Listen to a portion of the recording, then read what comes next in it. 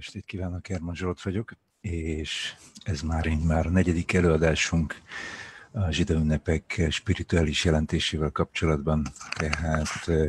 kezdtük egy általánosabb bevezető előadással az időről, a spirituális időről, spirituális kalendárról, utána beszéltünk a Hanuka ünnepéről, majd a Tubsvat, a fák új éve ünnepéről, és most pedig elérkeztünk mondhatjuk úgy a két nagy ágyúhoz, tehát először a Purim ünnepe, és néhány hét múlva pedig a Pesach ünnepe, az egyiptomi kivonulás ünnepe,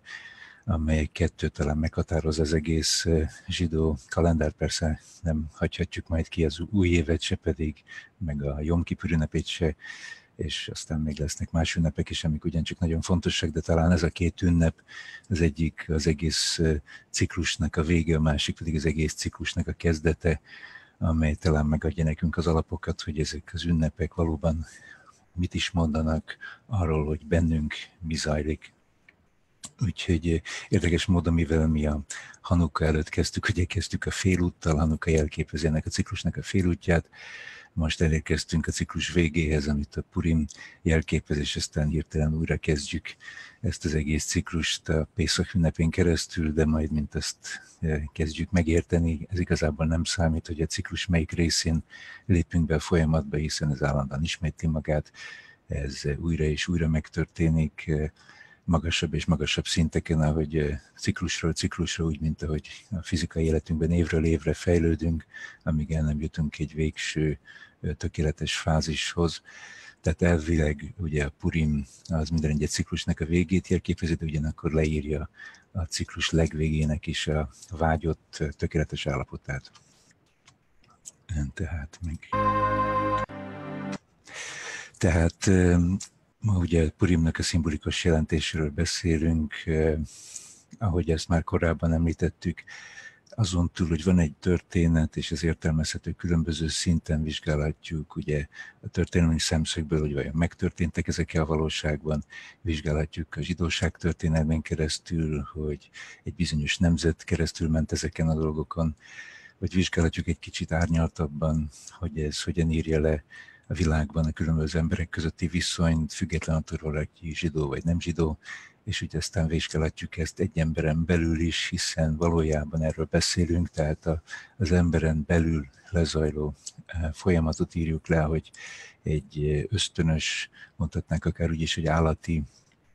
szinten megszületett teremtmény hogyan érheti el a valóban emberi szintet. Tehát eh, ezért érdekesek ezek a történetek, mert az egyszerű szereplőkön és az eseményenken keresztül mélyen saját magunkban hatolhatunk. Van egy híres rabbi Amerikában, aki úgy hívja magát, hogy Amerika híres, vagy Amerika kedvenc rabbia. Ezt persze lehet vitatni, de a lényeg az, hogy egyszer hallgattam tőle egy előadást, és ott írta le a zsidó ünnepeket egy ilyen mondattal, hogy lényegében minden egyes zsidó ünnep arról szól, hogy ki akartak minket írtani, mi legyűrtük őket, megmenekültünk, szóval ünnepeljünk, együnk, ígyunk. Tehát nagyon egyszerűen le lehet írni az összes ünnepet, ezzel az egy mondattal, de még egyszer ennek azért sokkal mélyebb jelentősége van. Elkezdhetjük vizsgálni, kik azok a zsidók, miért akarják őket kiirtani, hogyan lehet ezt orvosolni, kik a különböző történetek szereplői, mit tanulhatunk tőlük, azáltal, hogy a saját életünket, saját fejlődésünket kezükbe vegyük. Tehát a Purim ünnepen maga talán a zsidó tradíció kalendár legszínesebb, legfordalatosabb története, egy hiteles történelmi háttérrel, aminek már vannak archeológiai eh, bizonyíték, és nem magának a történetnek, hanem az időszaknak. Ez az első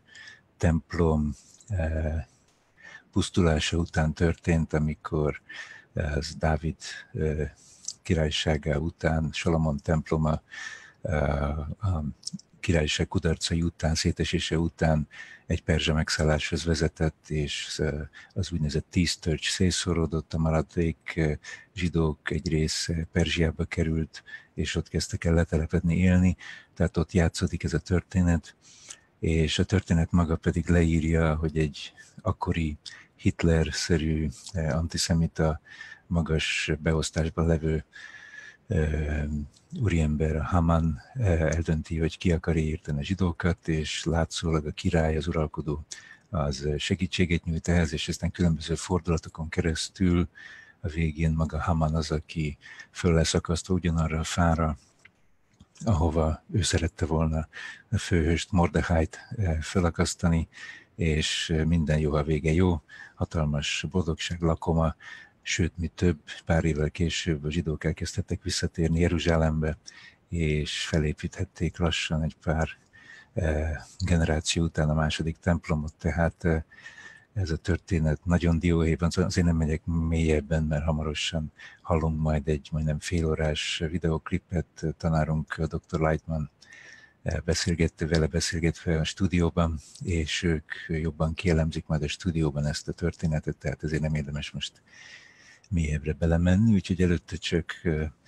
ahogy szoktunk, olvassunk egy cikket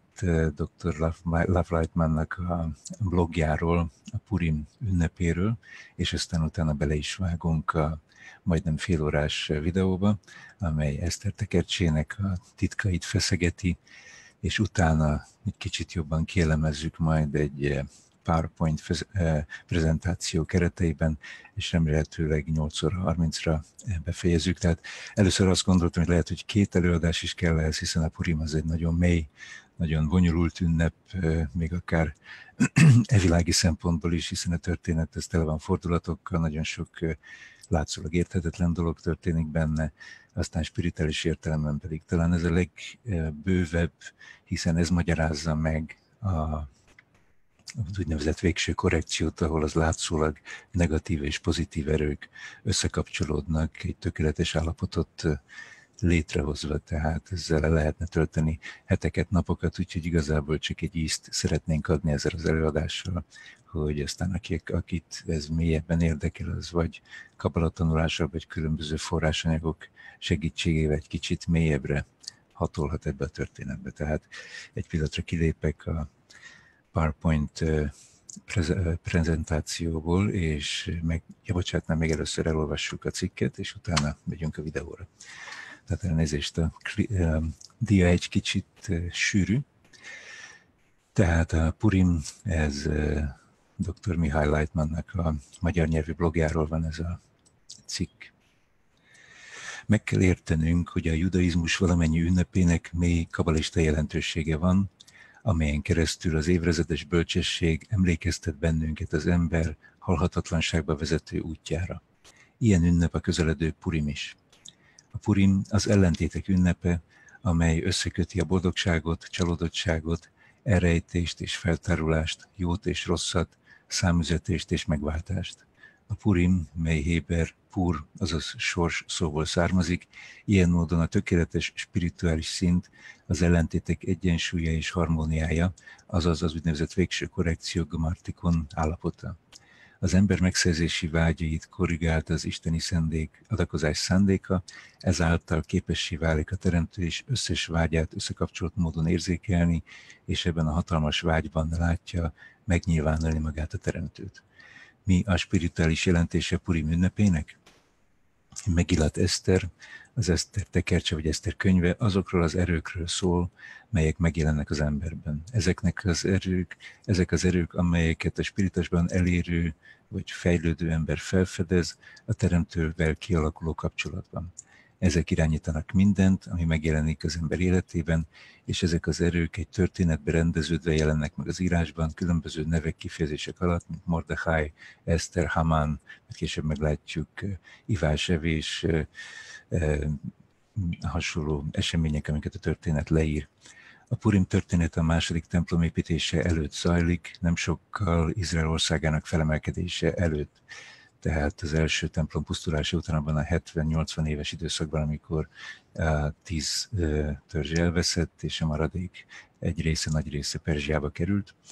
A történet a végső korrekció előtti utolsó csatát írja le. Ezen a szinten Izrael népe, azaz az emberben levő legmélyebb spirituális kitöltésre törekvő vágy, amely egyenesen Isten felé irányul, héberül Yashar el, azaz Isten felé, azaz Izrael, tehát hogy az Izrael név ebből a kifejezésből ered, egyenesen a teremtőhöz, békében és nyugalomban élt a Hasvaros királyságában, vagy ebben a Perzsa birodalomban. Mordechai a spirituális vágy kizárólag egy dologra törekedett, a teremtővel való tökéletes összealvadásra. Tehát Mordechai jelképezi ezt a vágyat. Ez a spirituális vágy azonban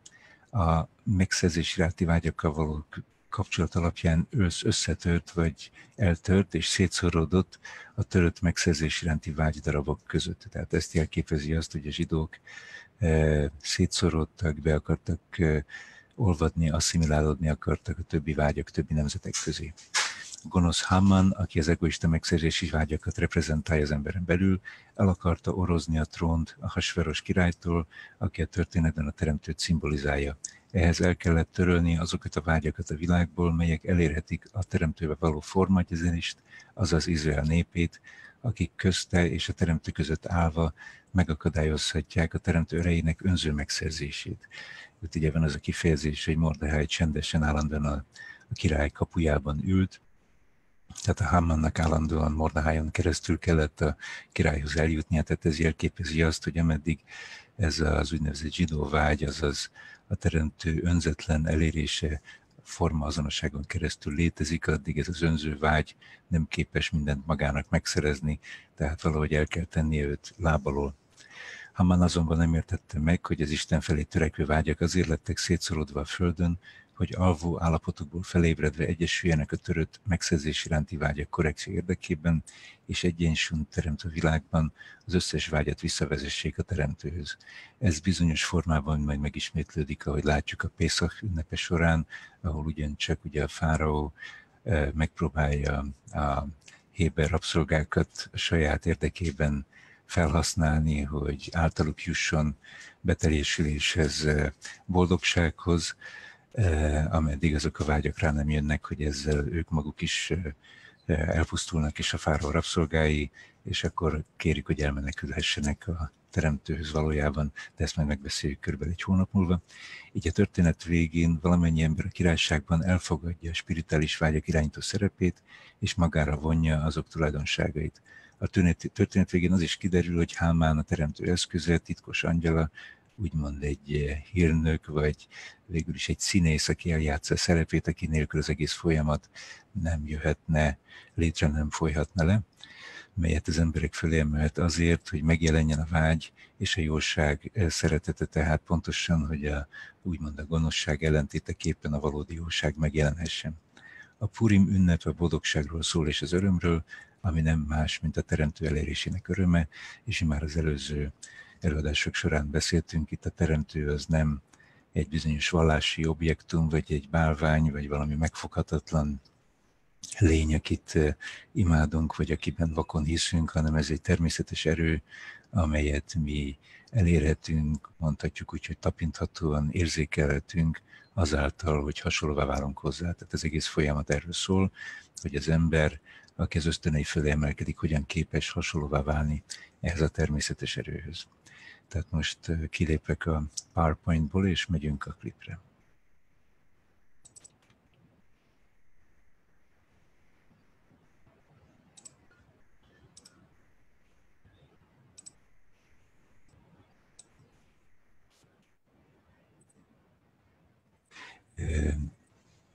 Néha meg megállítom majd a klipet, hogy esetleg van valamit hozzáfűzni, de ezt majd meglátjuk később, hogy nehogy kiszaladjunk nagyon az időből.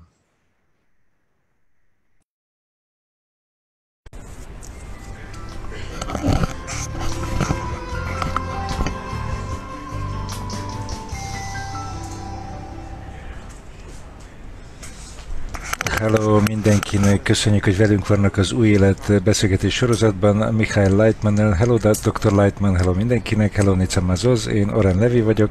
Ma Dr. Lightman segítségével szeretnénk behatolni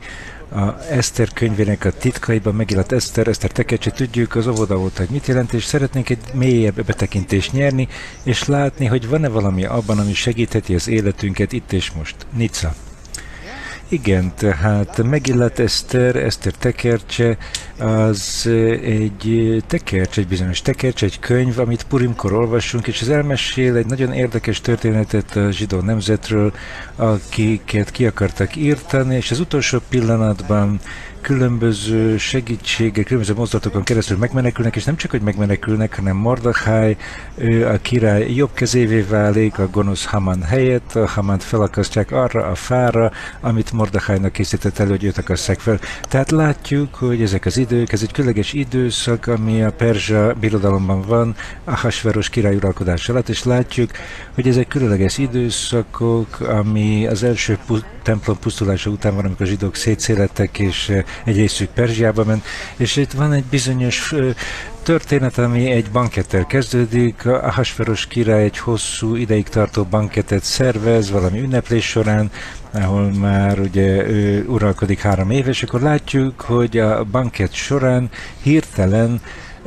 a történetbe belép Vasti, a királynő, az Ahasferos király felesége, aki megtagadja, hogy eljöjjön, hogy bemutassa magát, a gyönyörűségét a vendégeknek, és a király nagyon mérges lesz rá, hogy hogy lehet ez, hogy megtagadja a kérését, megalázza őt, és ez lényegében, ahogy az első színjáték ebben a különleges történetben megtörténik, innen kezdődik. Tehát az első színjáték, tehát próbáljuk megérteni. Mi a jelentés annak, hogy Ahasferos király ezt a hosszú banketet rendez, és ki ez az Ahasferos? Az Ahasferos jelképezi számunkra az egész világot, hiszen ő az egész világ királyabban az időben Perzsa a virodalom, ugye mindent keresztül lehet, és amikor ő egy banketet rendezett, ennek a jelentése az, hogy ő meg akarja mutatni, hogy a szándéka az, hogy jót cselekedjen a világgal, hogy a világnak jót adjon, de hirtelen az következik, hogy miközben jót akar tenni a világgal, valami, ez olyasmi, amit nem képes megtenni, nem képes jót cselekedni, hiszen mellette ott van a feleségé például Vásti, aki nem akar egyetérteni vele, nem akar kooperálni vele. Oké, okay, oké. Okay. És,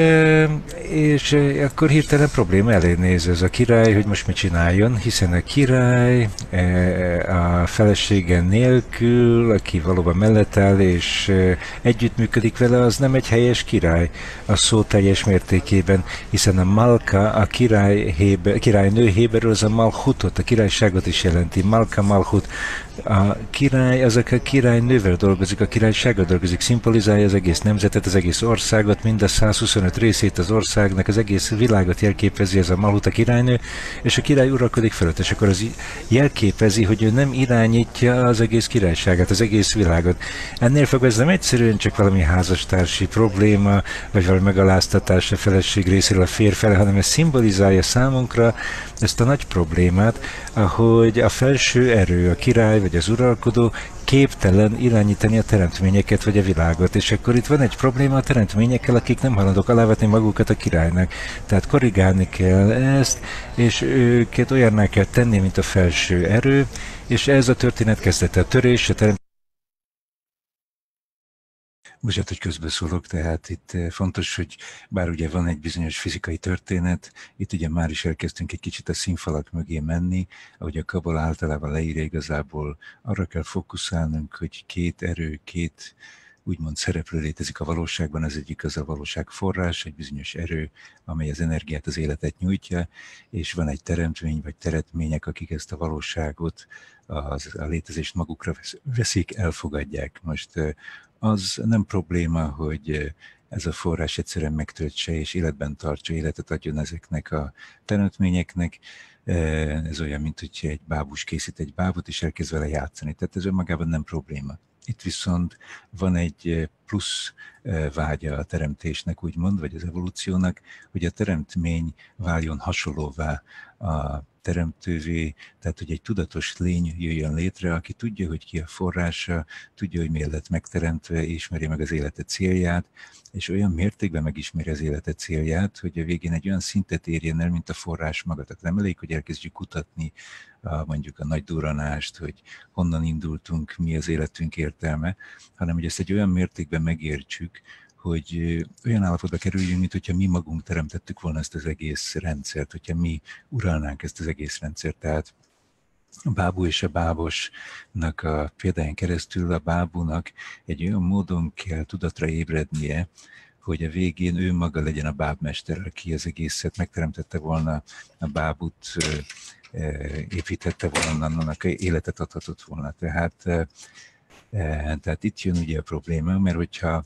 a teremtmény egyszerűen csak elfogadja a létezését, mindent magába szív, amit a forrástól kap, akkor, akkor óriási különbség marad közöttük, az egyik az adakozó, a másik pedig egy tudattalan, passzív elfogadó, mint mondjuk az egész állatvilág a természetben. Tehát itt jön az a kérdés, hogy milyen módon képes az eredendő vágy, ami ugye a teremtésnek az alapeleme, ez az élvezet, vagy létezés iránti vágy, ez a vágy hogyan válhat hasonlóvá a forráshoz. És itt jön az, hogy az eredendő vágy, tehát amit ez a Vásti királynő jelképez, amely csak arra van, hogy én elfogadom, amit a király nekem ad, én, én az életet, a gyönyörűséget, a, az önzőséget akarom magam számára, ez alkalmatlan a teremtés fő céljára, az, hogy hasonlóvá válhasson a forráshoz, a teremtőhöz. Tehát itt jön az, hogy helyettesíteni kell ezt a királynőt úgymond, vagy a vágyat finomítani kell egy plusz adalékkal, ami majd mind meglátjuk a szándék. Tehát a vágy nem változik meg a értelemben, hogy én továbbra is megszerzek, el, elfogadom, amit a forrás nekem ad, de változtathatom a szándékot, hogy ezt a magam érdekében fogadom el, vagy esetleg mások érdekében, és ha már a szándékot képesek változtatni, akkor valahol a szándékon keresztül képessé váltok arra, hogy azonossá válok a forrással, és azon a hasonlóságon keresztül megérthetem azt. Tehát ez az egész terem, mondhatjuk ez a teremtés dilemmája, vagy ez az egész történetek az alapja, tehát itt erről van szó, hogy az eredeti királynőt le kell cserélni, úgymond, aztán persze ez ugye kicsit brutális módon alakul a történetben, mert ha jól értem, akkor a vástit megölik a tanácsadók eh, tanácsára, de itt a lényeg nem arról van szó, hogy mi történik a történetben, hanem hogy hogyan tudjuk a vágyat finomítani, cserélni, vagy hát nem cserélünk semmit, hanem csak hogy hogyan lehet a vágyat úgy módosítani, hogy a, a fölött már egy szándékot kezdünk el vizsgálni, és mint a szándékon keresztül jöhet létre egy kapcsolat a forrás és az elfogadó között és a teremtmények között. Oké, és akkor jön a második színjáték. Oké, tehát a, tori, a történet kezdete az Eszter könyvében, az, hogy, hogy megjelenik a probléma, a kapcsolat hiánya a teremtő és a teremtmények között, a király és a királyság között. Oké, tehát az Ahasveros, az a teremtőt jelképezi, és a Vásti pedig a teremtményeket, az összes teremtményeket, a Malhutot. Igen, és akkor a teremtőnek valamit tennie kell, hogy gondoskodjon a teremtményeknél. Oké, tehát akkor valami döntést kell hoznia, és akkor használja a tanácsadóit, és a tanácsadók azt mondják, hogy nincs választásod, Vástit ki kell utasítanod, és találja egy új királynőt, és akkor a második színjáték, amikor keresik a leggyönyörűbb fiatal hölgyet, az egész birodalomban, keresnek egy új királynőt egy szépség választáson keresztül, és akkor jön az ifjú zsidó leány, aki árva, és az unokabátyja Mordechai, azok király udvarában van, és akkor oda jön, és ez a gyönyörű lány azonnal elcsábítja a királyt, és a király azon előtt választja királynőnek. Akkor mi a különleges Eszterrel kapcsolatban? Mennyi, mennyi, miért csábító, miért annyira vonzó ez az Eszter? A különleges dolog Eszterrel kapcsolatban, hogy ő nagyon szerény, és ennél fogva, hogy ezt mondja is, hogy Sma Eszter, hogy a neve Eszter, hogy ő rejtőzködik, hogy ő nem büszke, mint Vasti, ő nem mutogatja magát, Eszter ugye rejtettséget is jelent, és a király valóban ezt szereti, ezt tetszik a királynak ez a szerénység, mivel ő képes a királlyal együtt menni, hajlandó a királyt követni, és ki hajlandó megtenni, amit a király akar. A kérdés az, hogy a király mit akar? És itt itt, itt nekünk egy különleges dologhoz kell eljussunk. Igen, a király az uralkodik a valóság fölött, az egész valóságot uralja, az egész világot uralja, de ez a világ ez hogyan tudja adaptálni magát a király akaratához? Tehát hogyan tud a világ hozzá azonosulni a királyhoz? Ugye az általános terv alapján, a fejlődés terve alapján a világnak el kell jutni egy olyan állapotban, ahol teljesen azonosul a királyjal. A teremtőnyek azonosulnak a teremtővel, ahol a világ és a király elérnek egy teljes, tökéletes összeolvadást. Oké, tehát valami nagyon érdekes. Eszter, ő nem mondja meg a királynak, hogy ő zsidó. Igen, igen, Mordechai mondja neki, hogy nem szabad megmondanod neki, hogy zsidó vagy. Oké, akkor mi a jelentése annak, hogy nem mondja el, hogy ő zsidó? Azért, mivel Izrael nemzete, azok különleges nemzetnek vannak tekintve, akik szét vannak szóródva az Ahasverosnak a birodalmában, mind a 127 országában vagy e, tartományában, akik nem akarnak összekapcsolódni egymás között, szétszóródnak ez egy nemzet, aki nem annyira helyes, nem annyira aranyos, ez nagyon furcsa emberek. Az összes többi emberek, azoknak van egysége, kapcsolata, nemzetisége, kölcsönös segítség, kölcsönös kapcsolat, valami. De a zsidók, Izrael korábbi nemzete, azok nem, azok örülnek, hogy szétszorodhatnak és eltűnhetnek egymás szem elől. Hát mindenki egyedül van, saját maga, saját eh, malmára hajtja hasznot, mindenkinek nagy büszkesége van, ők reprezentálják a szakadást, nem a kapcsolatot. Pont az ellenkezőjét reprezentálják az összes többi nemzettel szemben. Az összes többi nemzetek, azoknak van saját oktatása, kultúrája, van valamilyen fajta kultúrájuk, saját kultúrájuk, amely folytatódik generációról generációra, és Izrael nemzete bár van nekik is valami hasonló, de nem kapcsolják össze az embereket egyetlen mechanizmussá, egyetlen kapcsolata, hálózattá. És csak amikor külső gyűlölet jelenik meg Izrael nemzetével szemben, akkor kezdik az emberek érezni, hogy mégiscsak egymáshoz tartoznak, valaki kívülről nyomja őket, taszítja őket, és hogy valaki állandóan fenyegeti a létezésüket, és akkor a zsidók végül is összekapcsolnak egymás között. Azaz, hogy a nemzet karaktere az nem jó. Ennél fogva ők makacs nemzetnek vannak nevezve, akik nem akarnak összekapcsolódni, hogy az emberek nem kapcsolódnak össze egymás között, nem egyesülnek, nem biztosítják, hogy a kapcsolat az folytatódjon, hogy a közöttük levő kapcsolat folytatódjon generációról generációra. Érdemes hozzátenni, tehát ugye van ez a zsidó küldetés tudat, ami persze eh, több féldelésen keresztül egész elég negatív konnotációt ad a világban. A zsidókban van egy bizonyos büszkeség, hogy ők ki vannak választva, a többi nemzet persze emiatt eh, nem szereti őket, mert ezt úgy vélik, hogy ez egy arrogáns büszkeséget jelent, de hogyha visszatérünk itt megint arra, hogy itt igazából nem vallási történetről, nem emberi történetről beszélünk, hanem egy természetes evolúciós folyamatról, akkor itt arról van szó, hogy van egy bizonyos embercsoport, akiknek egy nagyon fontos szerepet kell betölteniük az emberiség fejlődésében. Különleges eredetük miatt és itt ez ugye bővebb magyarázatra szolgál, de maradjunk annyiban, hogy az ősapák, akiket ugye az írások ősapáknak neveznek, azok egyszerű természettudósok voltak, akik empirikus kutatáson keresztül felfedték a természetnek az egész rendszerét, ezt az egyetlen erőt, mindent átható erőt, természetes erőt vagy erőteret, amely az egész világot befolyásolja, életben tartja. Mondhatjuk úgy, hogy ők felfedezték ezt a mindenek teóriáját, amit ugye, ugye minden magát magasra tartó fizikus vagy tudós szeretne megtalálni, és ezt tette őket különlegessé, és ezt a teóriát, ezt a törvényt ők megpróbálták az emberi társadalomra alkalmazni, hogy később biztosítsák azt, hogy az emberiség képes egységre lépni, annak ellenére, hogy az emberi természet az ellenzi az egységet, ellenzi a kapcsolatot, ami persze megint ugye órákba tartó magyarázatra szorulna, de a lényeg az, hogy a bennünk levő természet alkalmatlan a valódi emberi kapcsolatra, és ahogy fejlődünk, ami a fejlődés ugye az egoizmus fejlődését, az önzőség fejlődését jelenti, egyre kevésbé vagyunk alkalmasak arra, hogy összekapcsolódjunk. Ugye ma a fiatal emberek már családot se akarnak alapítani, a gyerekeket nem akarnak maguk számára, ez a narcisztikus önző tulajdonság miatt az Európai Unió, amely egységre épült volna, egyre inkább szétesik. Tehát minden olyan törekvés, ami elvileg egységhez kellett volna, hogy vezessen, az egyre inkább visszájára fordul, és sajnos látjuk, hogy egyre inkább a fasizmus, a nacionalizmus, rossz értelme vett nacionalizmus növekszik, náci erők emelkednek megint hatalomra, az emberek mindenfajta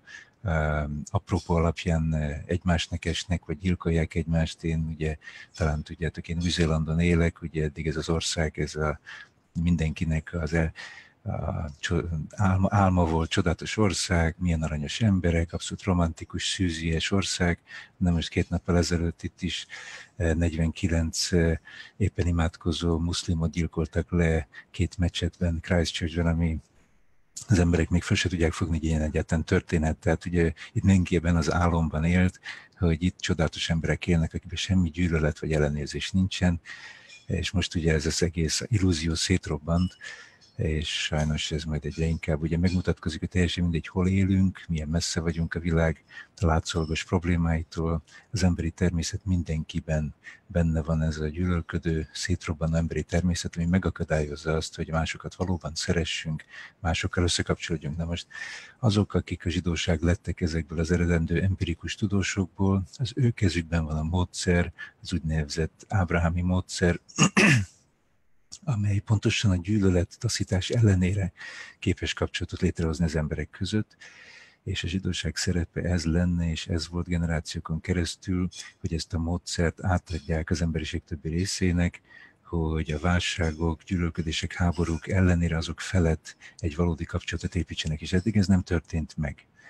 És ezért van az, hogy amikor az emberiség válságba kerül, akkor érdekes módon, ugye, de eddig ismeretlen módon a zsidók elleni gyűlölet, az antiszemitizmus növekszik,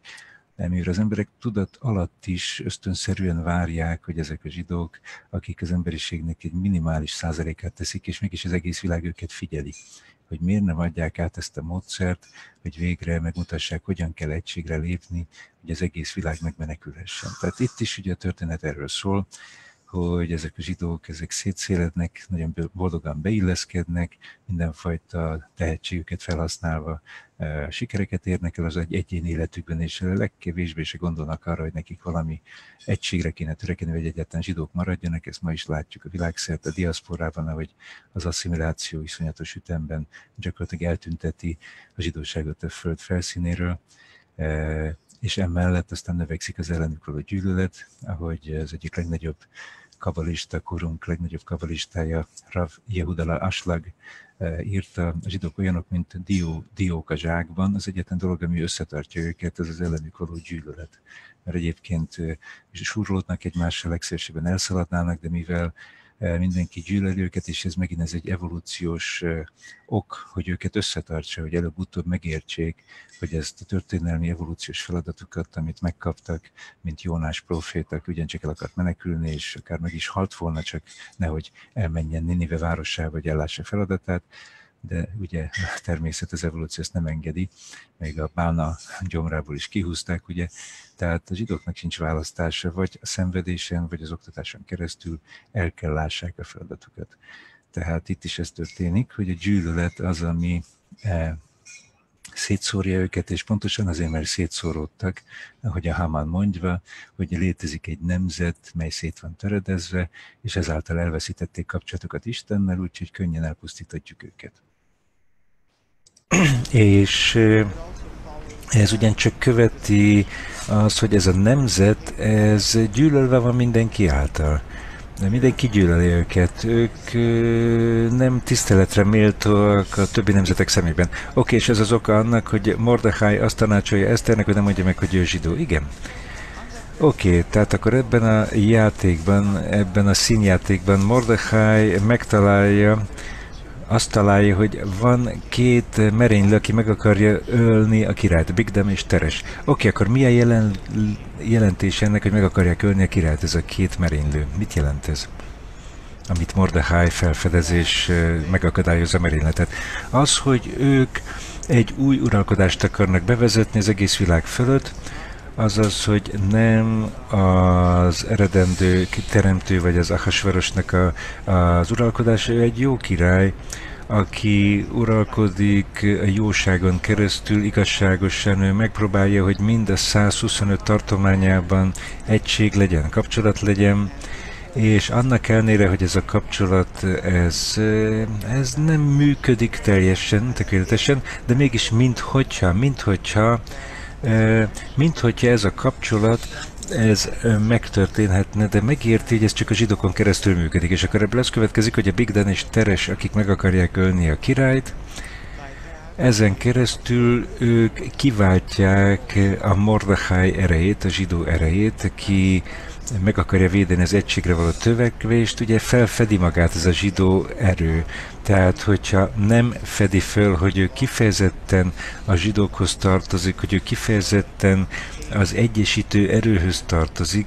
és hogy ő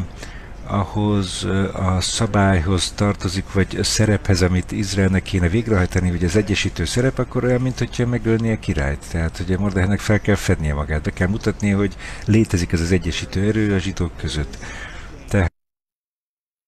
egy kicsit lerövidítve, tehát ugye létezik a teremtés alapterve, tehát a forrásnak a teremtményekkel össze kéne olvadnia, tehát úgymond a király törekvése az, hogy egy egység legyen, és bár létezik egy bizonyos együttlét, mondjuk most, mint az Európai Unióban, de látszik, hogy ez bármely pillanatban széteshet, mivel azok, akiknek a példát kéne mutatni, azok éppen ellenkezőleg viselkednek, mint kellene. Tehát a zsidók szétszélettek, asszimilálódnak, és a zsidókat jelképező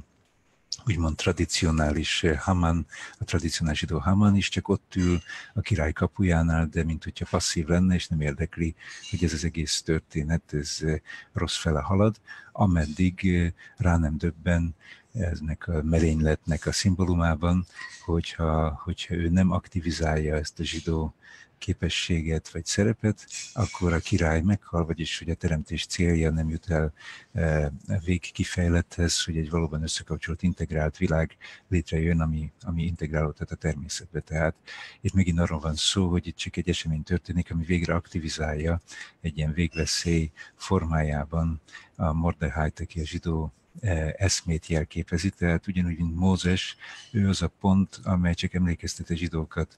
a szerepükre, vagy mint a makabeusok a, a Hanuka történetben. Hát, hogy veszély van, hogy az egész világ az esetleg csak a gonosz erőt követi, és megszűnik a jó erő hatása.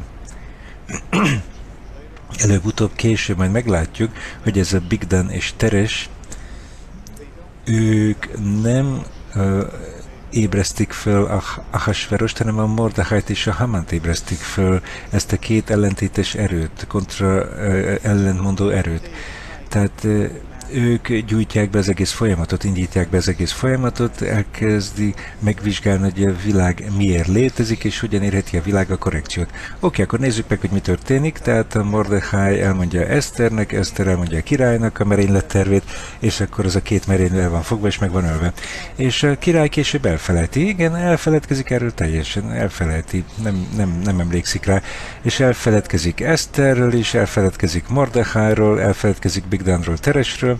minden a múltban van. És akkor, akkor hirtelen, hirtelen a király kinevezi Hamant, hogy nem, nem, nem hirtelen történik, mondja Rav. Ez olyan, mintha ez az eredménye lenne annak, hogy Mordechai megmentette a király életét. Ez érdekes, ez így van, ez nem nyilvánvaló, hogy ez hogyan történik, hogy látszólag éppen fordítva kellett volna, a Mordechait nevezi ki, nem? Hogy a Mordechainak kellett volna díjat adni, és ehelyett eh, elfelejti Mordechait, és a Hamant emeli felső szintre. Nem hiszem, hogy elfelejtette, hanem később majd megértjük, hogy miért van az, hogy a király miért a Hamant emelte miniszteri szintre Mordechai helyet helyzet, hogy lehetetlen a Mordechájt felemelni,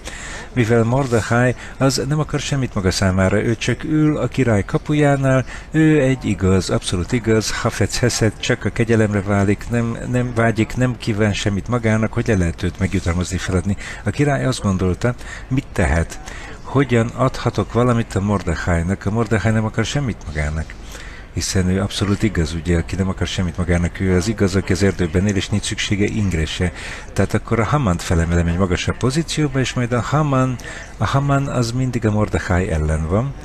és akkor ő majd felforrosítja, felgyorsítja, megszúrja, megcsípje Mordechait, de Mordechainak kénytelen lesz a Mordechai majd felemelkedni, eh, fel kell állni a király kapujától, ahol addig ül, ahol nem akar semmit maga számára, tehát a Mordechainak majd aktivizálni kell magát, és el kell kezdeni a funkcióját, a szerepét betölteni. Tehát a király az fontosabbá válik és bölcsebbé válik, mind Hamannal, mind Mordechai szemben, és akkor elkezdi pörgetni a dolgokat, és miután a korrigálatlan Malchut, a királyság fel van fedve a Vasti helyett, ez a nyers most már Eszter van, aki finomultabb, és Eszter héberül az rejtettséget is jelent, ugye Hastara, Eszter rejtettség. Mit jelent az, hogy rejtettség? Az, hogy ő nem követel semmit maga számára, ő is szerény. Ő hajlandó megtenni mindent, amit a király akar tőle, szemben a Vastival, aki büszke volt és követelő, de, de semmi, semmi. Eszter is, meg Mordahely semmit nem akarnak, amit a király akar passzívan. Azaz, hogy ők maguk nem váltanak ki semmilyen cselekedetet aktívan, mint ahogy a király akarná, hogy belőlük valami származzon. Azaz, hogy sem Mordechaiból, sem Eszerből egyelőre nincsen aktív cselekedet, se a zsidókból, vagy az egész nemzetből. A király az vizsgálatot akar. Azt akarja, hogy a nemzet érezze az ő uralkodását, hogy felfedezzék az ő jó uralkodását, hogy azonosítsák magukat vele. És ez nem történik meg, nem akarnak szimpatizálni vele, és mivel ez nem történik meg, Mordechai, az igaz, Mordechai a hibás. Oké, okay, tehát ez valami nagyon érdekes. Tehát itt egy nagyon érdekes vizsgálat kezdődik, ami az egész kabalának a gyökere, kabala tanításának a gyökere, tehát ugye maga az érzékelésünk is arra épül, hogy egyik dolgot csak a másikkal szemben tudjuk felismerni, tehát az édeset a keserűvel szemben, szeretetet a gyűlölettel szemben, egységet a taszítással, szétszorodással szemben. Ez már egy kicsit szokatlan a mi evilági, főleg a modern úgymond modern nézőpontunknak, ahol csak fekete-fehéren látunk, hogy vagy valaki csak jó, vagy valaki csak rossz, és már semmilyen árnyalatot nem vagyunk képesek látni. Itt pedig éppen az, hogy egy olyan valóságérzékeléshez kell megint hozzászokjunk, ahol a jó és a rossz együtt létezik, és hogyha nem létezne együtt, akkor nem tudnánk eh, hitelesen megállapítani, hogy melyik a jó, melyik a rossz tehát itt az egész történet arról szól, hogy az eredeti nyers vágy, amit a Vasti jelképezett, az helyettesítve van egy kifinomultabb vágyal, ami azt jelenti, hogy egy szerényebb vágy, amely ugyancsak megszerzés iránti vágy, de magára veszi az úgynevezett megszorítást, ez Kabalában gyönyörűen le van írva a Holt Panasza című a teremtés negyedik napján történő folyamatra, ezt csak most ide helyezem ezeket a megjegyzéseket, hogy kicsit felébreszek valami éjséget egy későbbi kabanatanulásra, de ezt egy ilyen gyönyörű fizikai vagy legendás módon az Ohár is és a tízféle tanulmánya leírja, ahogy ez az eredeti megszerző vágy egy ponttá le lesz csökkentve, szinte el van rejtve, annak érdekében,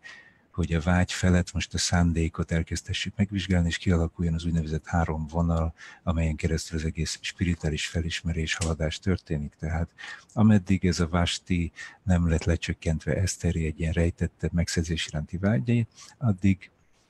nem volt lehetőség arra, hogy megvizsgáljuk, hogy milyen szándékkal használjuk fel ezt a vágyat, hogy egy abszolút önző, egoista szándékból használjuk fel magunk számára, vagy esetleg egy adakozó, önzetlen szándékkal, amelyet a Mordehai jelképez a Hamannal szemben. Tehát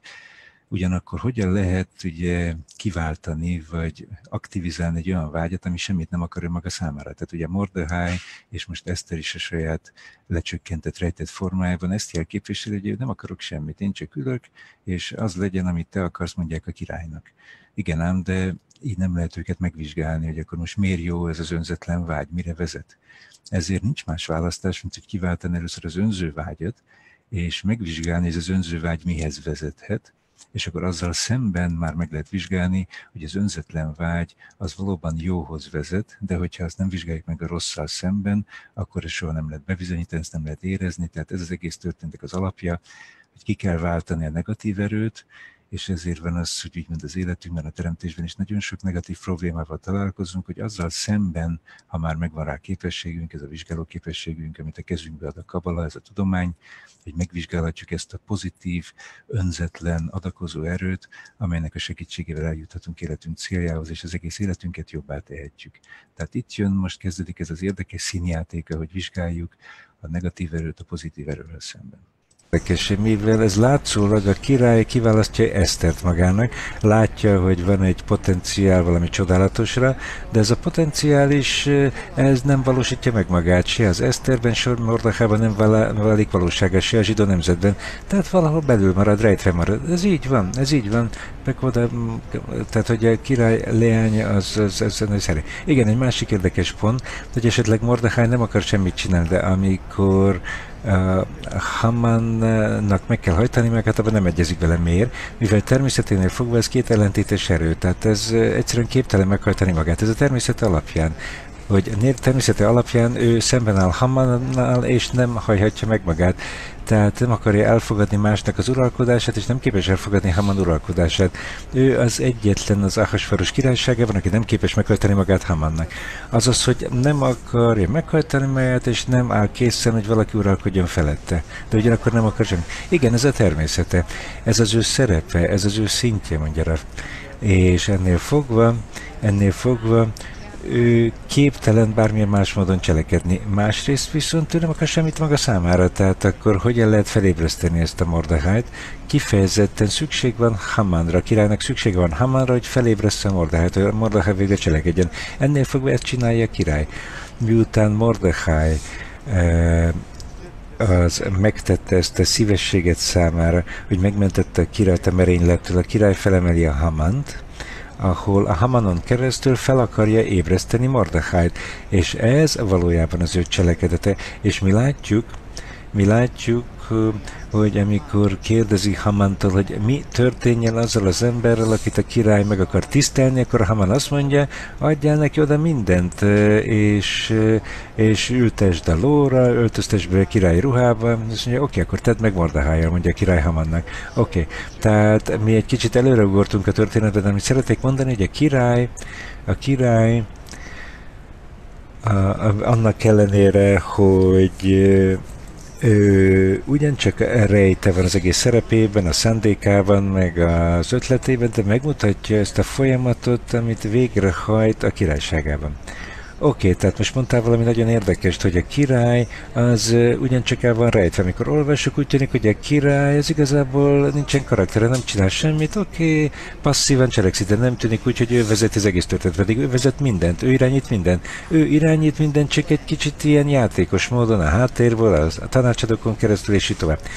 Oké, tehát akkor ez a pont, ahol a Mordechai nem egyezik bele, hogy meghajtsa magát Hamannak, Haman mérgessé válik, és el akarja pusztítani nem csak Mordechait, hanem az összes zsidót, az összes zsidót, mindenkit meg akar ölni. Igen, igen, ő konzultál Zeressel, a feleségével és a 365 tanácsatójával és a 10 fiával, és akkor, és akkor ő elér egy olyan állapotot, ahol igen, ő úgy dönt, hogy nincs más választás, hanem szükség van arra, hogy eh, kiírtsák az összes zsidót, kifejezetten, hogy felakasszák a Mordechát később, ugye, majd felakasztják a fára, bizonyos magasságra, és így tovább. Tehát ez bonyolult, bonyolult történet, sok-sok szimbolikus jelentéssel, de ez az, ami történik és akkor, akkor ezzel elmegy a királyhoz, ahhoz jól ismert, és akkor a király azt mondja, kérlek, csinálj, amit akarsz, a kezedben van minden. Igen, csak uh, határoz meg a dátumot. Igen, és akkor adok neked egy lepecsételt levelet, az úgynevezett lepecsételt levelet, az első levelet, és akkor azt csinálsz, amit akarsz, a nemzetet a kezedben van. De nem pontosan azt mondja, hogy kinek kell megölnie ki. Tehát ezt nem fejezi ki a király, azt úgy mellékesen mondja, hogy ahhoz, ahhoz plusz, amit a király leírt. Tehát nem egy teljesen egyértelmű a levél. És a második levélben pedig azt mondja, hogy a zsidók, de ez majd később történik meg, az az, hogy ezen a ponton, amikor mi olvassuk az Eszter könyvét, akkor megértjük, hogy a helyzetünk, Izrael nemzetének a helyzete, az szörnyű, az vég, végveszélyben vannak egy másodperccel az kipusztulás előtt. Igen, Bocsátok, most hallgatom, nem annyira érthető, amit itt hallottunk. Tehát a lényeg az, hogy ugye Haman ugye miniszter lett téve, Mordechájnak, mint mindenki másnak meg kéne hajtani magát előtte, de Mordecháj nem hajlandó meghajolni Haman előtt, hiszen ő nem követett ilyen. Mordecháj egy olyan szándékot jelképez, ami teljesen elképzelhetetlen az emberek számára. Tehát ez az abszolút önzetlen szándék, amit bár mi azt hiszük, hogy ebben a világban léteznek önzetlen, valóban szerető emberek, elnézést, hogy ezt mondom, ilyen nem létezik. Tehát természetünknél fogva mindegyikünket az ego irányít, ez persze önmagunk nem tudjuk ezt legfeljebb valami nagyon drámai környezetben fedezhetjük fel, valami végveszélyben, mondjuk azt, hogy e, valakivel együtt megyünk a sivatagba, és csak egy kupa víz van, és akkor el kell gondolkodni, hogy kinek az élete fontosabb, az enyém vagy a másiké, vagy ha belépünk egy különleges emberi laboratóriumba, ahol elkezdjük magunkat e, abszolút e, őszintén megvizsgálni, erre megfelelő módszeren keresztül, akkor fedezhetjük fel, hogy valóban bennünk más nem működik, csak az ego. Tehát egy ilyen szándék, hogy abszolút önzetlenség, abszolút szerénység,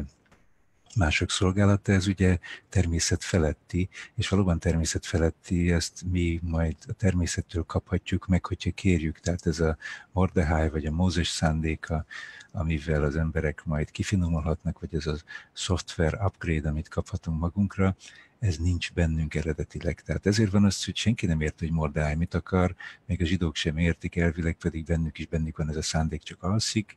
ezért van az a kifejezés, hogy Susán város, ahol ez az egész történet zajlik, össze volt zavarodva, mert még maguk a zsidók se értették, hogy miért mondja azt a Haman, hogy nekünk nem szabad élveznünk az élvezetet, nem szabad elfogadnunk a bőséget, amit ugye Haman mond. Tehát mindenki úgy érzi, hogy a Hamannak van igaza, hiszen az egoista szándékunk alapján e, így logikus. Na most, amikor Mordahely nem hagyja meg magát, akkor Haman rájön, hogy ameddig ez a őszinte, önzetlen szándék létezik, addig ő nem érheti el a végcélját, és ezért ki akarja írtani a Mordehájt és az összes zsidót, akikben ugyancsak benne van ez a szándék, csak egyelőre alszik bennük, mivel nincs úgymond felébresztve még eléggé. Ehhez kell a végveszély, hogy ez a szándék a zsidókban is felébredjen és a királyhoz megy, és a király látszólag jóvá hagyja, hogy igen, te elpusztíthatod a zsidókat, bár nem mondja így ki a király, de azt mondja, hogy itt a pénz, amit kérsz, és a nemzet a te kezedben van, azt tehetsz velük, amit akarsz. És ad is neki egy lefecsételt levelet, amivel bizonyíthatja a Haman, hogy ez a király jóváhagyásával történik, bár mint Dr. Lightman mondja, a levél nem százszerzelékosan egyértelmű, tehát nincs benne százszerzelékosan precízen leír, vagy kinek kit kell elpusztítania. E, ebben a pillanatban minden úgy tűnik, hogy a Hamannak van igaza, de majd van egy második levél, ami hirtelen mindent feje lefelé fordít, és azt mutatja, hogy igazából a zsidóknak van joguk elpusztítani azokat, akik ellenük vannak, de ezen a ponton ez még nem nyilvánvaló, csak szerettem volna ezt pontosítani. Tehát ez a vége, van egy dátum, és valószínűleg ö, ö, felekasztják őket a birodalom ide részén, semmi titok, mindenki tudja, hogy a zsidók ezen és azon a napon el lesznek pusztítva. És ez az, ahol Mordechai hirtelen felébred, sír, ö, megszagatja a ruháit, hamúcor a fejére, és elkezd sírni. Igen, igen, és akkor akkor Eszterhez fordul. Igen, és akkor Eszter azt mondja, hogy nekünk böjtölnünk kell, imádkoznunk kell, egységre kell lépnünk, mivel mégis Eszter, ő nem olyan, mint a Mordechai. Mi a különbség Eszter és a Mordechai között? Mindketten zsidók, nem? Nem, nem. Ez nem erre vonatkozik, hanem az, hogy a Mordechai az az adakozás szintiszta tulajdonsága, hit emuna, emuna tulajdonsága Héberül. Ez a tulajdonság, amelynek semmi köze a személy egójához, és az Eszter, az Eszternek van köze az egóhoz, az önző vágyhoz. Ő azt mondja, hogy ha mi befolyásolni akarjuk a magasabb erőt és sikeresek akarunk lenni, akkor az egyetlen módja ennek az, hogy most elkezdünk bőjtölni három napig, ugye három vonallal szemben, ahogy ezt tanuljuk a Kabbalah bölcseletében, három vonallal szemben három nap, és hogyha ezt megtesszük, akkor először is mi képesek leszünk az egónk fölé emelkedni, a saját önzőségünk felé, mivel az a tény, hogy mi nem eszünk, nem iszunk, ezen keresztül mi felemelkedünk, felemelkedünk a megszerzés iránti vágy fölé, az egónk fölé, akkor mi felemelkedünk a fölé, és akkor imádkozunk is. És akkor ez egyesít minket, ez összehoz minket, mivel ez egy kollektív cselekedet, az egész nemzetnek a kollektív cselekedete. Tehát eh, akkor egy törvényt, vagy egy parancsot kell kiadni mind a 125 tartományon keresztül, ahol az izraeliek szétlettek szóródva, azaz, hogy ez volt először is a problémájuk, hogy szétszórodtak a 127 tartományban, ez nem földrajzilag vannak szétszóródva az egész perzsa birodalmon keresztül, hanem szét vannak szorodva, ez azt jelenti, hogy ők egy idegen kultúrában vannak, idegen vágyakba belekeveredve, összekapcsolnak bárkivel, aki ott van. Tehát asszimilálódnak, az az, hogy nem tartoznak már a judaizmushoz, a zsidókhoz, nem tartoznak az egymás közötti kapcsolathoz. Ők valóban számüzetésben vannak. Ők elhagyták a kötelékeiket, ők elvesztek, elvesztek, azaz, hogy ők szét vannak szóródva gondolatekbe belsőleg, fizikailag, belsőleg, vágyakban, célban, mindenben teljes, teljes, abszolút asszimiláció, szétszóródás. De hogyha mi,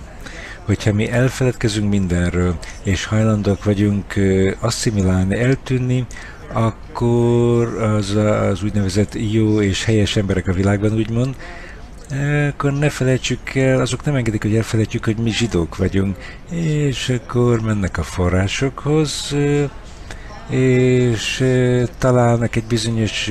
bizonyítékot arra, hogy ki az, hogy zsidó, ki az, hogy nem zsidó, és hajlandók elpusztítani a zsidókat, ami aztán megtörtént a történelem során újra és újra, előre meghatározott időpontban, hajlandók azok, akik közé asszimilálódnak a zsidók, és úgy tűnik, hogy minden rendben van, azok az emberek aztán később akar őket. Én emlékszem, hogy ez hogy volt Oroszországban, apám mesélt erről,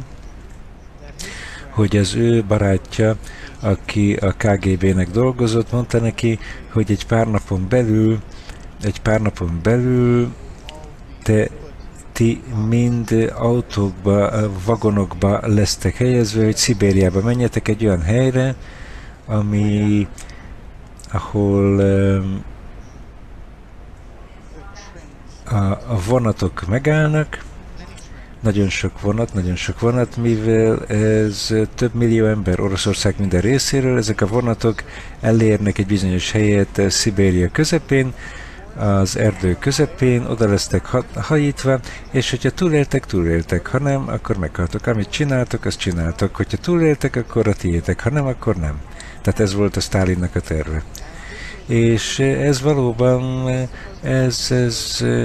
ez egy héten belül kellett volna megtörténni a KGP által, és apám hazajött, és elme, elmesélte ezt nekünk, és két nappal a megtervezett nap előtt Stalin meghalt. Tehát két nappal azért, hogy ennek meg kellett volna történni, Stalin meghalt, és akkor ez az egész dolog nem történt meg. De minden készen állt, az egész terv készen állt. És az emberek nem tudtak erről. Az emberek nem tudtak erről hogy ez az, amit már előkészítettek számukra, hogy ez volt a terv az orosz zsidók számára a Stalin alatt. És ugyanez a zsidókkal később, és ez újra, újra megért, megismétli magát a történelem során. Oké, okay, a fenyeg tehát valóban ezt látjuk a történelem során a spanyol kitaszítástól, az a brit kitaszítástól, a holokauszton keresztül, hogy a zsidók, akik biztonságban élnek egy bizonyos társadalomban, fontos szerepet betöltve, látszólag befogadva és nagyon magasra értékelve, hirtelen egy teljesen új helyzet elé néznek, amikor pont azok, akikben bíztak, akiket szolgáltak, akiknek mindent átadtak, akiket ugye segítettek a kormányzásban, azok ellenük fordulnak és ki akarják írtani őket. Ez az, amit nagyon nehéz megmagyarázni, ugye a zsidóságnak pedig a legutóbbi példa az ugye 70-80 évvel ezelőtt történt, ahol Németországban nagyon sok szekuláris zsidó, akik a bankokban, ügyvédi irodákban, kórházakban ugye fontos pozíciókat töltöttek be, egyszerűen nem fogták fel, hogy mi történik. Ugyanígy ugye az Oscar Díjas sorstalanság filmben látjuk a budapesti zsidóság, akik még akkor se hitték el, hogy ez megtörténhet, amikor pedig már a vagonok mentek Auschwitz fele, és most ugyanez zajlódik például Franciaországban, Angliában pedig az antiszemitizmus már a második világháborúnál magasabb szintet ér el, Amerikában, ahol ugye a demokrata pártot támogatja a zsidók 70-80 százaléka, és a demokrata pártják ez most már nyíltan antiszemita pártá vált, és mégis a zsidók továbbra is adják a pénzt, és egyszerűen nem hiszik el, hogyha nem végzik el a feladatukat, mert ugye ez egész erről szól, hogy beváltják a küldetésüket, vagy sem. Hogyha nem váltják be a küldetésüket, akkor ez a gyűlölet növekedni fog, és akár még egy holokausz bekövetkezhet, de most már nem egy országban, vagy egy kontinensen, hanem világszerte. Tehát eh, ezért ez a történet nagyon-nagyon fontos, hogy megértsük, hogy ez, ez egy történelmi ciklust ír le. Egyrészt, hogyha, ahogy mondtam az elején, ugye ezt több rétegből lehet vizsgálni, de hogyha a zsidóság szempontjából nézzük, a zsidóság nem lép egységre, nem váltja be ezt a példamutató szerepét, ahol mindenkinek meg kell mutatniuk, hogy a gyűlölet, a taszítás ellenére hogyan kell egységet építeni, és a világot kivezetni a válságból, akkor a világ egyre nagyobb mértékben gyűlöli őket, akár tudattalanul is, vagy tudatosan, hiszen voltak olyan antiszemiták, akik pontosan tudták, hogy ezt várják el a zsidóktól, akár a Mein Kampfban ez le van írva, és a Henry Fordnak az írásaiban ő is ugye egy híres antiszemite volt annak, az ide, annak idején. Tehát vannak, akik pontosan tudják, hogy mi az, amiért a zsidókat gyűlölik, az emberek többsége nem tudja, hogy miért gyűlöli őket, de hogyha nem váltja a zsidóságba ezt a szerepet, akkor megtörténhet ugyanaz, ami ebben a történetben, majdnem megtörtént a Stalinnal, majdnem megtörtént, ahogy ez sajnos Németországban meg is történt, vagy akár Amerikában is, pedig az emberek ezt el sem tudják képzelni, de sajnos itt nem arról van szó, hogy mi mit képzelünk, hanem itt megint csak egy történelmi evolúciós folyamatról van szó. Tehát itt is mi a megoldás? Az, hogy a zsidóságnak az asszimiláció taszítás ellenére össze kell gyűlnie, és kérni azt a képességet, hogy egységre léphessenek, mert önmagukban nem képesek erre, és majd akkor itt fordul az Eszter a királyhoz, hogy segítse a zsidókat abban, hogy összekapcsolódjanak és megmentsék nem csak magukat, nem úgymond az egész világot a motívum, a pusztulásnak a közelség, ez egész történelem során újra és újra megismétlődik, igen. És ez az, ami megtörténik a zsidókkal az Ahasverosnak a királyságában, Perzsiában is, és ennyi, ennyi. És akkor ők imádkoznak, és bőtölnek, és elkezdik megérteni, hogy ők zsidók, és hogy mit is jelent ez, hiszen a Haman az ő szerepében és a parancsaival emlékezteti őket egy negatív módon, hogyha nem akarnak saját maguk emlékezni egy jó módon, akkor mi történik a zsidó emberekkel, hogy egyszerűen csak bőtölnek, egyesülnek, imádkoznak, mi a folyamat? Ők visszatérnek a gonosz útjukhoz. Kik vagyunk mi, mik vagyunk mi, miért vagyunk különböző, különlegesek, van valami magasabb erő, ami gondoskodik rólunk, aki aggódik értünk, és mások miért akarnak elpusztítani minket, vagy mit csinálunk valami rosszat, és ezzel akarnak elpusztítani a magasabb erő parancs alapján. Tehát mi történik? Elkezdtek vizsgálatokat végezni. Azaz, hogy az összes önvizsgálatuk felébred, elkezdik vizsgálni, hogy kik ők, mik ők, és mi a szerepük, és a zsidók elkezdenek gondolkozni, mi az ő sorsuk, mi az ő szerepük a világban. És akkor, amikor elkezdik megérteni ezt, azaz, hogy ez csak ugye a hatalmas szenvedés vagy veszély idejében, mert egyébként ez egy makacs nemzet, ők nem képesek ezt megérteni, csak amikor nyomás van és akkor felébrednek, és felébrednek akkor a mértékben, hogy a második levél fel van fedve, amikor azt mondja, hogy a zsidók azaz, hogy ők kapták meg az erőt és a jogosítványt a, terem, a királytól, miután vezekeltek, megkapták az erőt és az engedélyt, hogy felkeljenek és megöljék az összes ellenségéket. Tehát megfordul minden. Ez az, ami megtörtént. Ez a második levélnek az eredmény, és akkor ezen keresztül eljutunk a Purimhoz, a végeredményhez, a boldogsághoz, de egyszerűen meg kell értsük azt, hogy ők magukon belül ölték meg a gonoszt, és nem pedig ami rajtuk kívül volt. Ez nem az emberek ölése, mi számít, hanem az a gonosz hajlam belső megölése mindenkiben, és mindenki, aki leszakad egyik a másikról, hogy nem képes elérni azt, hogy szeres fel mint saját magadat, ezt kellett elérniük azáltal, hogy megölték a gyűlöletet egymás között, így korrigálták magukat, és eljutottak a teljes korrekcióhoz, ami szimbolizálva van a Purim által ahol a tökéletes korrekció mi? A tökéletes kapcsolat. A tökéletes kapcsolat az összes zsidók között, és akkor az összes többi nemzetek kapcsolódnak a zsidókon keresztül, hogy megértik, hogy miért gyűlölték a zsidókat, mivel a zsidók nem hozták el nekik a kapcsolatot, a módszer, és emiatt az egész emberiség szenvedett addig, és most már nyilvánvaló számokra, hogy mi a zsidók szerepe, hogy az egységet bemutassák a saját példájukon keresztül, és akkor a világ nemzetei segítik a zsidókat, hogy elérjék a kapcsolatot rajtuk keresztül, a világ eléri a kapcsolatot, és mindenki eléri a teljes kapcsolatot, ezt a Tórában írja. És mi köze ennek ahhoz, amivel kezdtük, hogy a király az jó kapcsolatban akar lenni a világgal, az a hasverus, az kapcsolatban akar kerülni a világ. Az egész terve a királynak az előbb-utóbb arról szól, hogy a zsidókat arra kényszerítse, hogy összekapcsoljanak egymás között, mivel akkor az egész világ ugyancsak összekapcsolódik körülöttük. És ezt nevezük úgy, hogy egy jó kapcsolatot teremtő a teremtmények között. Oké, okay, köszönjük szépen dr. Lightman, sajnos az időnk lejár, de ezt majd még folytatjuk egy kicsit, remélhetőleg a következő sorban. Köszönjük Nicának, köszönjük, hogy velünk voltak, a legközelebbi alkalomig Tehát van még egy pár ilyen, ezeket úgy nevezik, hogy az új élet sok, amelyeken keresztül különböző, tehát több száz ilyen beszélgetés van, de a Purim kapcsán négy-öt ilyen videó van, amiket majd a, a, az internet linkeket megadom a PowerPoint prezentációnak a végén, és ez majd a Facebook oldalunkon megjelenik, tehát hogyha valakit érdekel, a többi videó azok is megnézhetőek, tehát van még egy olyan 10-15 percünk, tehát csak egy rövid összefoglaló a diasoron keresztül.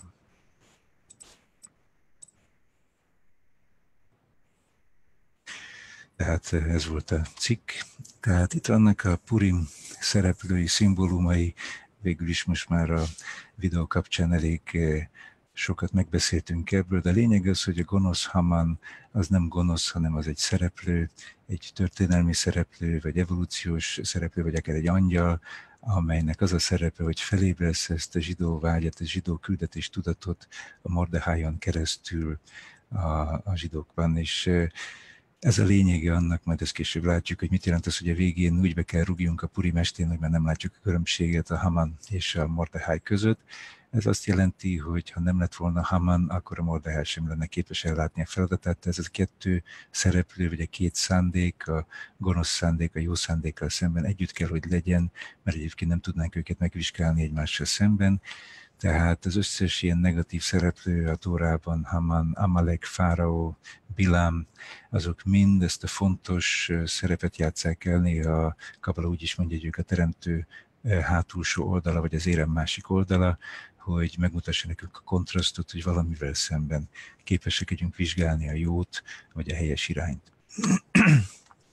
Morderáj pedig a másik oldalt mutatja, ő az abszolút adakozó, helyes szándék,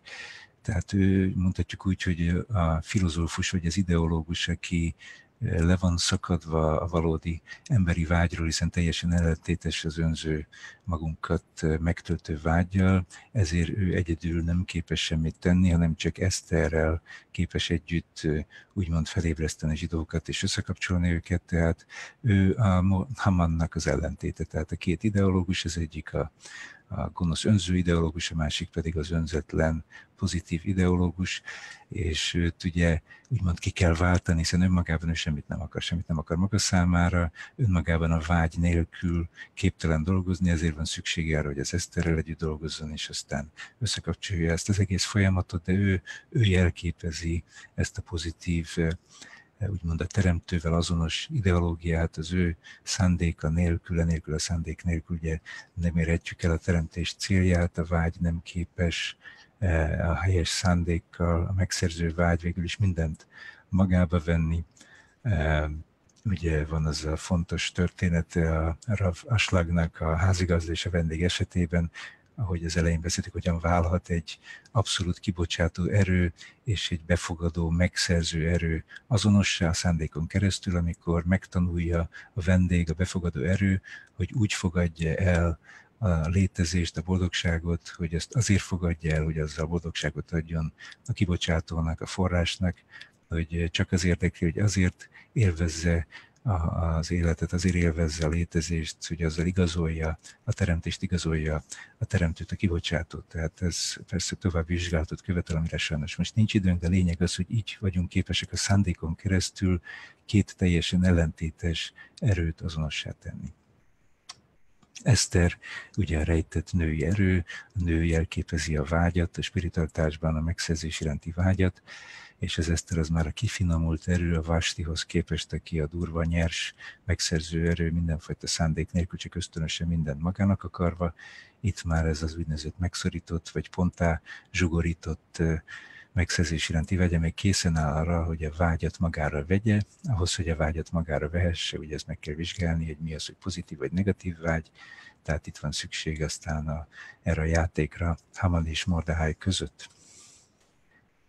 És Vasti pedig a nyers szándék nélkül úgymond állati ösztönös erő, amelyel mindenki megszületik, amely addig működik bennünk abszolút ösztönös vak módon, ameddig fel nem ébred bennünk a kérdés az élet értelmével kapcsolatban, és amikor felébred bennünk ez a kérdés, akkor kezdhetjük el ezt a folyamatot, amikor előbb-utóbb már a szándékot vizsgáljuk, nem azt, hogy mit kaphatok, hogy mi az enyém, hanem hogy kitől kapok, és amikor rájövök, hogy kitől kapok, honnan származok az életem, hogyan válhatok hasonlóvá ez az erőz, és akkor kezdődik ez az egész folyamat, az úgynevezett három vonalon, a szándékok vizsgálatán keresztül.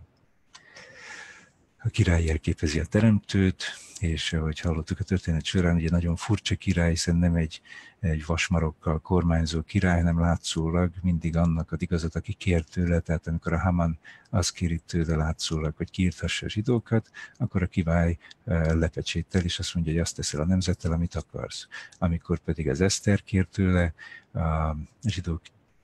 egységén, vezeklésén keresztül úgymond a, a mordály segítségével, akkor pedig nekik ad igazat, és jóvá hagyja, hogy ők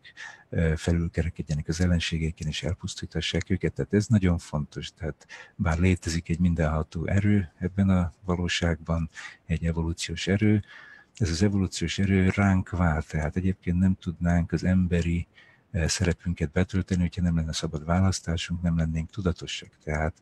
mi most kezdjük el, ezért eh, kapalisták úgy nevezik a mi generációkat, hogy az utolsó generáció, mivel ez az a generáció, ami most megkapta ezt a lehetőséget, hogy megvizsgálja saját magát, mint a zsidóság a eh, Susán városában, hogy kik is vagyunk, mik is vagyunk, mi a szerepünk, hogyan érhetünk el egy forma azonosságot, integrációt a természetet, a természet erejével, hogy ezt milyen módon csinálhatjuk,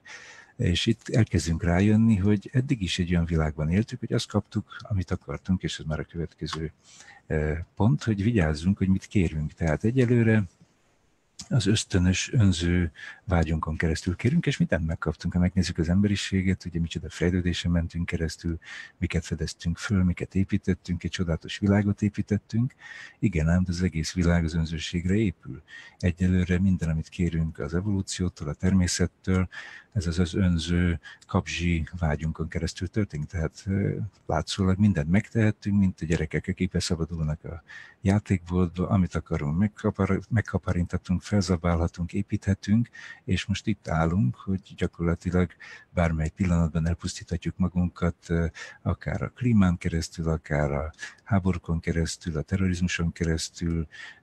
vagy a gyógyszereken keresztül, teljesen mindegy, rengeteg lehetőséget építettünk magunknak, amin keresztül elpusztíthatjuk magunkat, mert eddig csak az önző szándékon keresztül éltünk. Tehát látszólag ugye a természet azt adta nekünk, amit kértünk. Önző módon akartok élni, tessék, próbáljátok ki, és elérkeztünk ez a hatalmas válsághoz, ahol az emberiség gyakorlatilag végveszélyben van, még akkor is, hogy ezt nem akarjuk figyelembe venni, és szeretnénk ugye eltörölni, vagy inkább elszaladunk a tévésorozatokhoz, a számítógépes játékokhoz, a kábítószerekhez, mert nem akarjuk tudomásul venni, hogy milyen állapotban vagyunk, depresszió, öngyilkosság, stb. stb. De eddig megkaptuk, amit akartunk. Önző módon akartok élni, tessék, és ez az eredménye, így élünk. Tehát, de hogyha azt kérjük, hogy a teremtő úgymond, vagy az evolúció adja meg nekünk ezt az upgrade-et, ezt a szoftver új frissítést, amely megadja nekünk a Mordehai szándékát, hogy képesek legyünk a természetünk ellenére összekapcsolódni és egy egységes világot építeni, akkor azt is megkapjuk, sőt, azt azonnal megkapjuk, hiszen az egész teremtésnek, evolúciónak ez a célja, tehát hogyha helyes módon kérünk, akkor azonnal elkezdjük azt megkapni, és a világ szinte pillanatokon belül megváltozhatna. Csak ez a kérdés, hogy ezt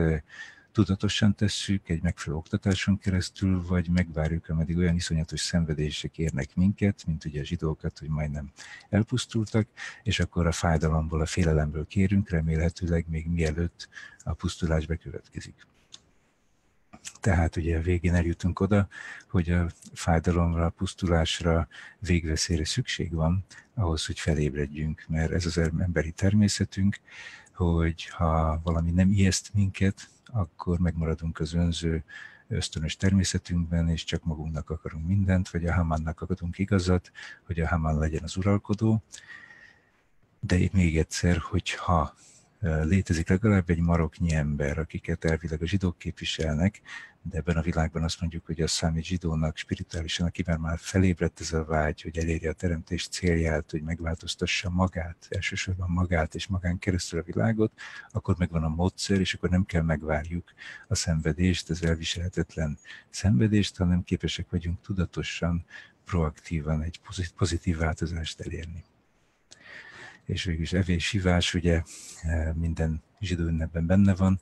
az ivás az jelképez úgymond a hochma fényének a magunkba szívását, ami a teremtés eredendő fénye, de hogyha azt a Mordehai szándéka nélkül vonzuk magunkra, akkor részegé válunk, törést okoz,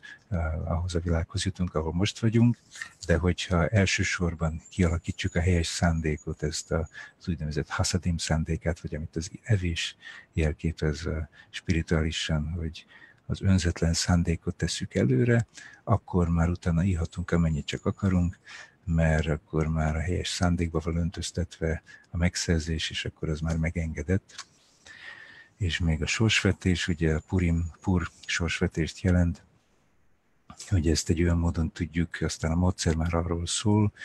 hogy állandóan az eredendő, ösztönös, önző értelmünk, állapotunk felé kell emelkednünk, hiába értünk el ezt, tudunk ezt, meg felfedeztük ezt, meg megvan a saját logikánk, nézőpontunk, azt félre kell tolnunk, és a fölé kell emelkednünk, hogy úgymond magunkra vehessük a természet rendszerének tökéletes értelmét, amit egy különleges módszeren keresztül kaphatunk meg az úgynevezett tízesben vagy kabalista csoportban, ahol mindenki egyénileg lenullázza magát a másik fele, és ezáltal egy kölcsönös kollektív értelmet kapunk, és mivel ez egy önzetlen kollektív értelem, ez azonossá válik a természet értelméhez, így kapunk egy új értelmet magunk számára, amelyel képesek vagyunk elérni a célt.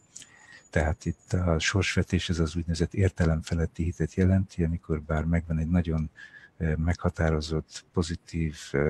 minden tudó logikánk elvileg, hiszen azt hiszük, hogy mindent tudunk erről a világról, mi ezt elvetjük, és a fölé emelkedünk. Tehát ez nem vallás, nem az logika alá megyünk, amikor bár tudom, hogy mi történik, én inkább vakon elfogadok valamit, amit valaki más mond, nem, hanem itt egy különleges módszerünk ez, hogy új értelmet kapunk, tehát nem vakhitben élünk, hanem ehelyett itt új értelmet kapunk, ami csak önértelemben hit, hogy az eredeti önző szubjektív nézőpontunk szempontjából hit, hiszen ez az önző szubjektív logika nem látja azt, amit majd megkapunk később, de ez egy valódi új értelemhez jutunk, tehát nem egy vakhithez vagy valláshoz.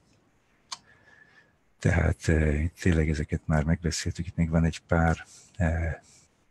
e, dia ezzel kapcsolatban, már megbeszéltünk arról, hogy ugye mi a teremtés célja, hogy van a forrás és van a vágy, és a végén el kell jussunk oda, hogy a megszerző vágy vagy a vendég az azonossá váljon az adakozóval, miközben maga a cselekedet, a vágy az nem változik, tehát mi továbbra is megszerzők vagyunk, mi elfogadunk,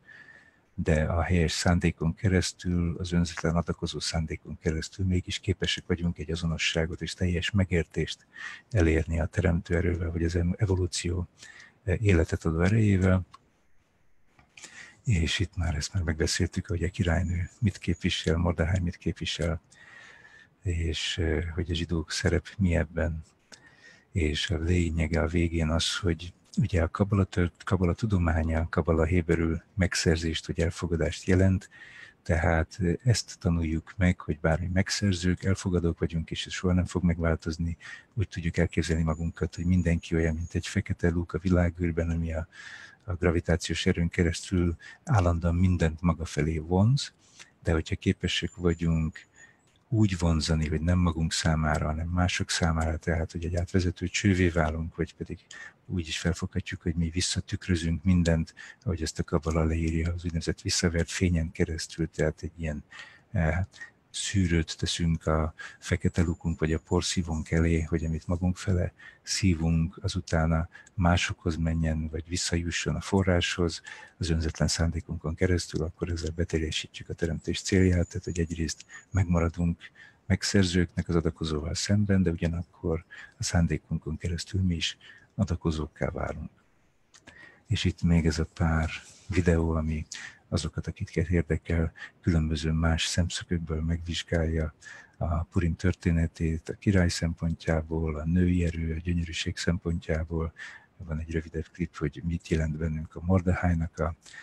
a szerepe. Tehát ez lett volna a, nem is annyira rövid összefoglaló, bár, mint mondtam, a Purimról lehetne még sokkal többet beszélni.